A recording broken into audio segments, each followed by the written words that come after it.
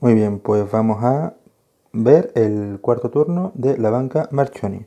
La, banca Marchoni con su primera acción va a colocar en juego al hermoso. ¿De acuerdo?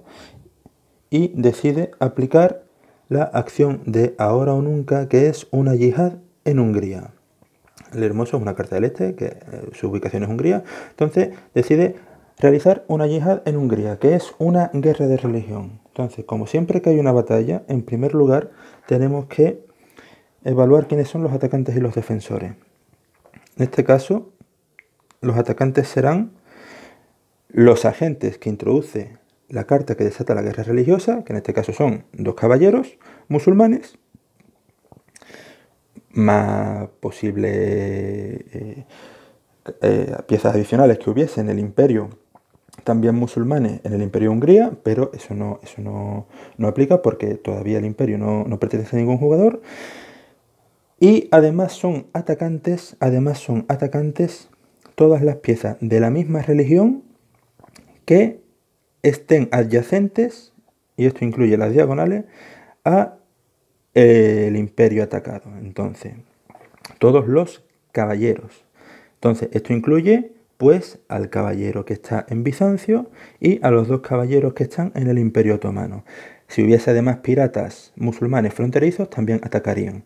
¿Los defensores quiénes son? Bueno, pues los defensores son todas las piezas herejes que se ubiquen en el imperio en cuestión. Hereje quiere decir de las religiones que no, que no están provocando la guerra religiosa. En este caso, los defensores serían estos dos caballeros, católico y protestante, y además pues también defendería algún pirata eh, católico protestante que no se da el caso.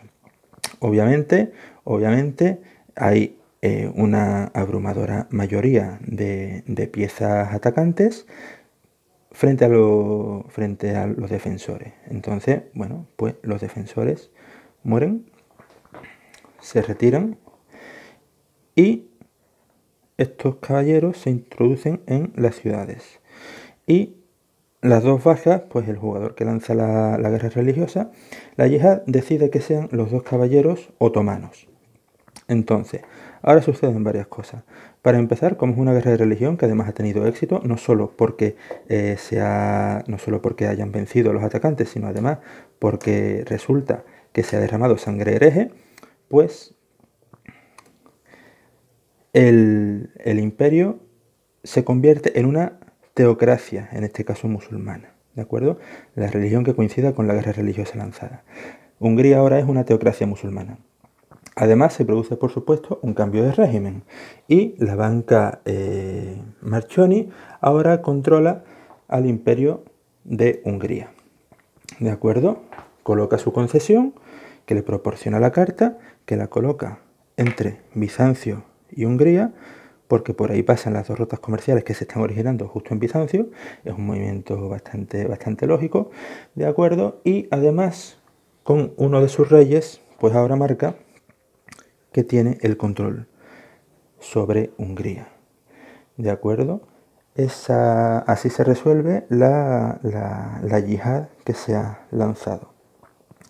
Ahora, ¿Qué más? Bueno, pues todavía le queda una segunda acción. Y la segunda acción que va a realizar la banca, la banca Marchoni es con el florín del que dispone, pues va a comprar a la dinastía, o sea, va a invertir en la dinastía Isfendiyarida.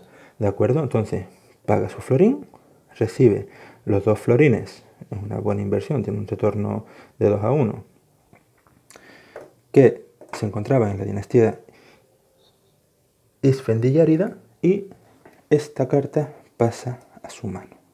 ¿De acuerdo? Aquí no. Pasa a la mano de la banca Marchoni. Por último, como es habitual, se repone el mercado. Una carta más celeste que resulta ser un cometa. Ya hay un cometa, que recordemos que son las cartas que detonan las condiciones de victoria, que activan las condiciones de victoria en el mercado. Bueno, pues este ha sido el cuarto turno de la banca Marchoni.